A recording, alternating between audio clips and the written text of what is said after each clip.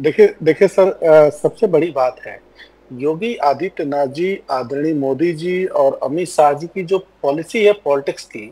वो पूरी तरह से समाज के सभी वर्गों को छिन्न-भिन्न कर दिया है। पहले हिंदू और मुसलमानों के बीच में मतभेद था